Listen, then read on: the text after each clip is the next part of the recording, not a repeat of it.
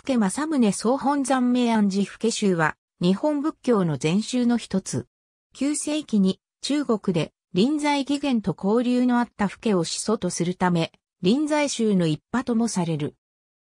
福家は真意の層であり、新鮮的な逸字も多く、伝説的要素が強い。虚無宗とも言い、うつろ卓を吹きながら旅をする虚無像で有名。1249年日本から中国に渡った、心地革新が中国府家州16代目原さんの弟子である宝伏せ、国助、理性、僧女の4人の在家の孤児を伴い、1254年に帰国することで日本に伝わった。紀伊浦の広告寺山内に、府家案を立て居所とした。4人の帰化した孤児は、それぞれ4人の法廷を強決し16人に父家の消防を伝え、16の派に分かれていた。後に宝伏せの弟子の二人の派が盛んになり、他の派は滅びてしまったり、両派を触れ頭として支配下に入り存続した。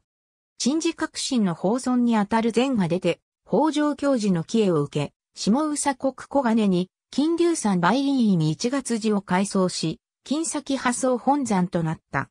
一方、勝総領大古寺は、武蔵野国佐って藤馬鎌村に車霊山国院、霊宝寺を改装し、かつ総破総本山となり、一月寺とともに、府家州、松寺120余りの触れ頭となった。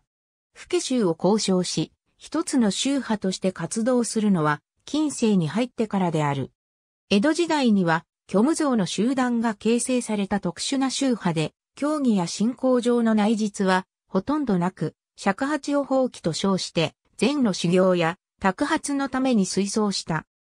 1614年に江戸幕府より与えられたとされる慶長の掟書により、虚無像の入り衆の資格や服装も決められるなど組織化され、諸国通行の自由など、地図の特権を持っていたため隠密の役も務めたとも言われる。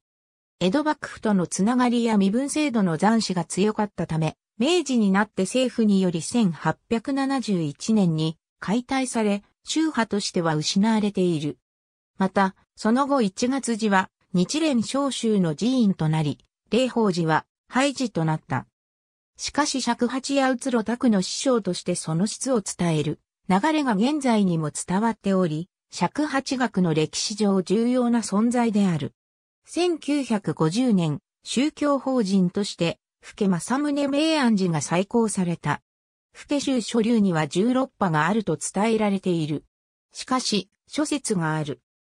金崎、鬼畜、梅戸、淵、洋沢、芝隣、吉文、インド萌え、宋は、水南、短尺、乃木、自派、勝宋、小菊、根笹金崎、鬼畜、梅戸、淵、洋沢、芝隣、吉文、インド萌え、宋は、水南、短尺、乃木、自派、かか、夏表、つかさそ。ありがとうございます。